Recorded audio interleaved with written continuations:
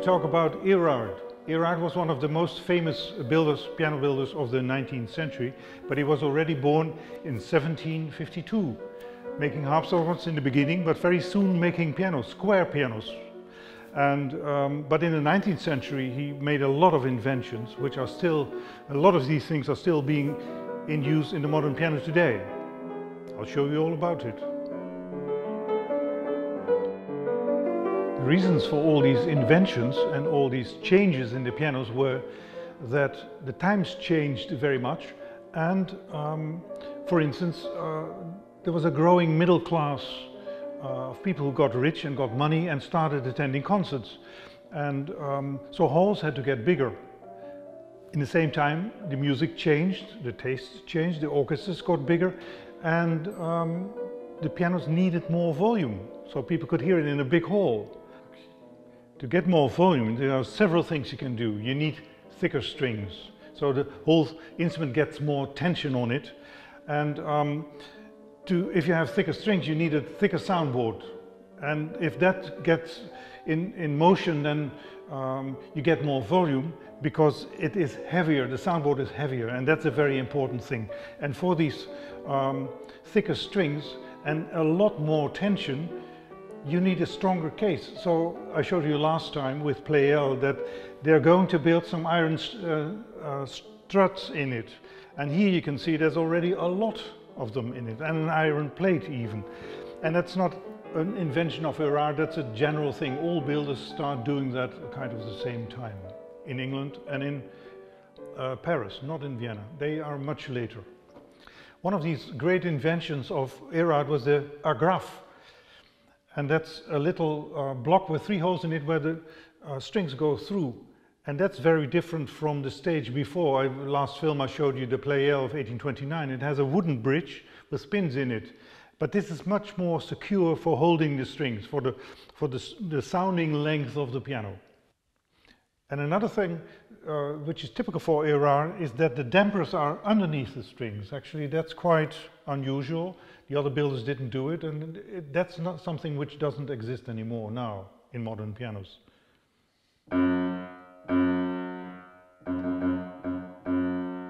But the agrafes, the agrafes do. That's something which is still the same in the modern piano. So that's something very specific Erard, and it was not taken over by other makers. It has one advantage, you can take the, all the dampers out in one, in, in one movement, so to say, and in a, in a modern piano or other pianos, it's a lot of work one by one to take the dampers out. So I'm going to take the action out and, and show you how it works.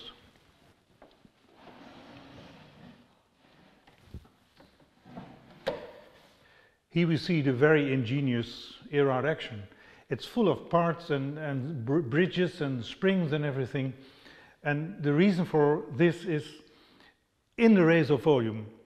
Um, one thing you can do is not only thicker strings and everything, but also bring the hammer in rest position further away from the string. So you can make more speed and more power. That's very important. But if you have to uh, need a bigger distance here, you also have to push the key further down. This is quite deep. And in other actions, the, the key has to come back all the way up before you can hit again.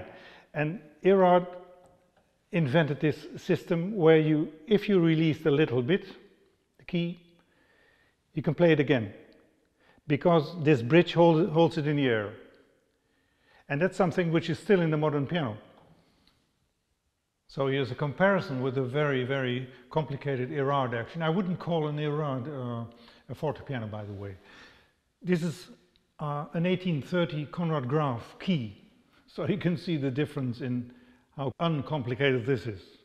So I push the key down and the hammer, which is fixed on the key, goes up like this. The hammer goes up and that's, that's almost all everything there is. But it's wonderful. I mean, you really have the key in your finger. Erard was not the only one who made pianos. There were a lot of piano builders. In London, there were a lot of piano builders. In Vienna and in Paris there were uh, quite a lot of piano builders and they all did a kind of the same thing in the same period. So as I explained before, when one builder made more keys into the piano, the other one, the other ones did the same. And also in all the technology, everything changed in the same direction like what everything, everything is happening now, of course. And there was a huge competition, not only between Paris, London and, and Vienna, but also within uh, Paris. There was a, a, huge competition. And it was the period, the 18, starting the 1830s, um, Paris became the cultural center of Europe and many, many uh, virtuosos. It was the beginning of the virtuoso period with Carl Kalkbrenner and Moscheles and Liszt and Mendelssohn and Chopin. They all went to Paris. And when they got there, it was, let's say, Pleyel and Erard wanted them to play on their, to give the concerts on their pianos. And um, was a big difficulty. There's a letter, for instance, of Clara Schumann saying uh, that it was a, a, huge problem because if she would choose for Pleyel, Erard would, be, would have been very angry, and the opposite, of course. So it was never, it was never easy to choose a piano. And, and the competition was, was really incredible. There's even a story of, it's a bit earlier, 1821, when Moscheles came to Paris for the first time. Uh, he chose the piano by Henri Pape. And Henri Pape, not known now, but he was one of the great and famous builders in Paris and also in, he made many inventions, really a genius. Uh, Moscheles chose for this Pape piano, but he was so afraid for the competition to sabotage the piano that he put a guard at the piano between the rehearsal and the concert. Can you believe it? In 1996, I was in Paris and I was asked to look at a Pleyel piano at a, at a tiny piano shop somewhere. And in the attic, there was this, this Pleyel and there was a, a foundation was interested in buying that one and they asked me to look at it, which I did, which was a nice Pleyel piano, but in the corner of my eye, I saw this one and in the same floor. And I thought, oh, that's, I hope I can buy this. And it was for sale, so I bought it. And uh, that's a long time ago, but I, I was really very happy. It was in a kind of a moderate condition, and we took out the, the strings, of course, and, and the soundboard, and brought it back a little bit because it was modernized at some point. It, some pianos were so beautiful that people wanted to keep them, and they sent it back to the factory in the second half of the 19th century, later 19th century, where it got new hammers and new dampers like this one. And this one also got a, a few keys extra in, in, the, in the treble. Now this block is very narrow. It was wider in, in the past. But, and there they found a space to, to put these extra keys in.